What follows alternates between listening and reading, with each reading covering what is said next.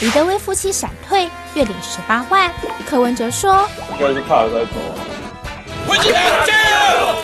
台北市信义分局长李德威和妻子消防局主秘杨炳芬闪退，昨天余波荡漾。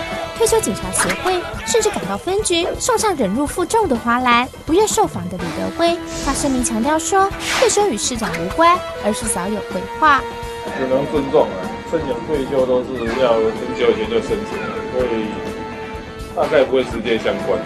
会不会担心接下来一波退休潮？不会来，走的都是好的人才，这个都留不住了。不会了，打上我就把你换掉。是，应该是怕了再走。两造双方都一副没事的样子，但网络上可不是这么回事。